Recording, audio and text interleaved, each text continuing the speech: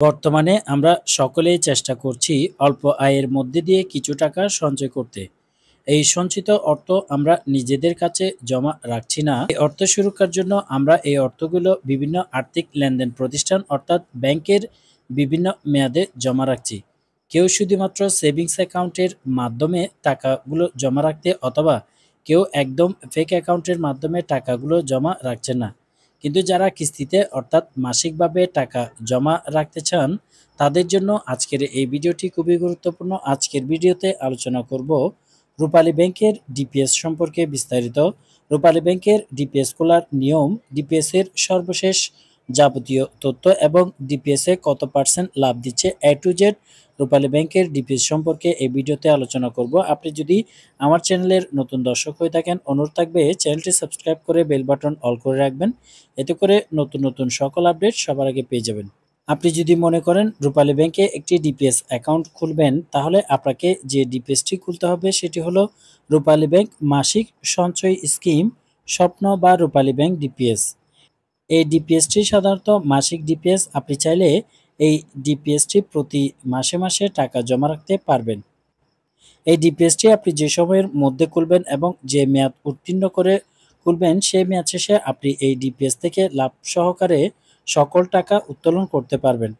সাধারণ মানুষ এই জন্যই ডিপিএস খুলে থাকে যাতে করে কিছু বছর পর একসঙ্গে বেশি টাকা পাওয়া যায়। আপনি যদি এই মাসিক হিসাবটি খুলতে চান, তাহলে এই ডিপিএস খোলার জন্য যে সমস্ত নিয়ম রয়েছে সেগুলো হচ্ছে এই অ্যাকাউন্টে শুধুমাত্র তারাই খুলতে পারবে যাদের বয়স আঠারো বছরের বেশি এবং যারা মানসিকভাবে সুস্থ। অর্থাৎ এখানে বোঝানো হয়েছে যে এই ডিপিএস খোলার জন্য আঠারো বছরের নিচে বয়সী ব্যক্তিরা ডিপিএস খুলতে পারবে না। ডিপিএস খোলার জন্য যে ব্যক্তি খুলতে ইচ্ছুক সেই ব্যক্তির বয়স আঠারো বছরের বেশি হতে হবে। যে ব্যক্তির নামে এই ডিপিএসটি খোলা হবে তার দুই কপি রঙিন পাসপোর্ট সাইজের ছবি জমা দিতে হবে। ওই ব্যক্তির জাতীয় পরিচয়পত্রের ফটোকপি এবং এর ডকুমেন্টসের প্রয়োজন। ডিপিএস খুলতে চাইলে সেই ব্যক্তি প্রতি মাসে কত টাকা করে দিতে পারবেন তার একটি সংখ্যা স্পষ্ট করে বর্ণনা করতে হবে।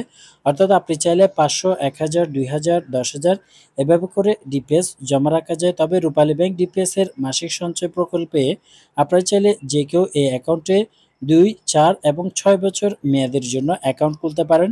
আপনি এই ডিপিএসে প্রতি মাসে চাইলে সর্বনিম্ন এক হাজার টাকা থেকে শুরু করে সর্বোচ্চ পঁচিশ হাজার টাকা পর্যন্ত প্রতি মাসে জমা রাখতে পারবেন। রূপালী ব্যাংক ডিপিএস এর মাসিক সঞ্চয় প্রকল্প অ্যাকাউন্ট তৈরি করার ক্ষেত্রে আপনি বিভিন্ন মেয়াদের অ্যাকাউন্টের জন্য ভিন্ন রকমের আলাদা আলাদাভাবে ইন্টারেস্ট পাবেন। আপনি যদি রূপালী ব্যাংকে ডিপিএস মাসিক সঞ্চয় প্রকল্প অ্যাকাউন্ট দুই বছর মেয়াদের জন্য তৈরি করেন, তাহলে দুই বছর মেয়াদের জন্য সুদের হার হবে দশ দশমিক পঞ্চাশ শতাংশ। আপনি যদি মনে করেন রূপালী ব্যাংকের ডিপিএস মাসিক সঞ্চয় প্রকল্পের অ্যাকাউন্টটি চার বছরের জন্য খুলবেন, সেক্ষেত্রে সুদের হার হবে দশ দশমিক শূন্য শূন্য পার্সেন্ট।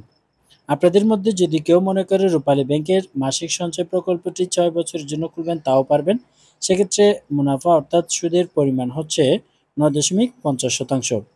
রূপালী ব্যাংক ডিপিএস এর মাসিক সঞ্চয় প্রকল্পের সঞ্চয় হিসেবে আপনাকে প্রতি মাসে আপনার টাকা জমা দিতে হবে।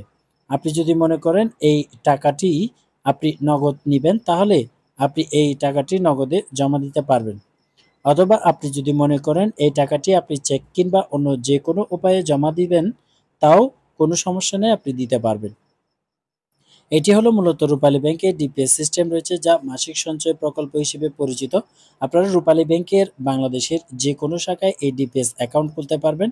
ডিপিএস অ্যাকাউন্ট খোলার জন্য জাতীয় পরিচয়পত্রের ফটোকপি, যা যা বললাম, সমস্ত ডকুমেন্টস নিয়ে যাবেন এবং যেদিন ডিপিএস অ্যাকাউন্ট খুলবেন, ওই দিন একটি কিস্তি জমা দিয়ে আপনারা ডিপিএস খুলতে পারবেন।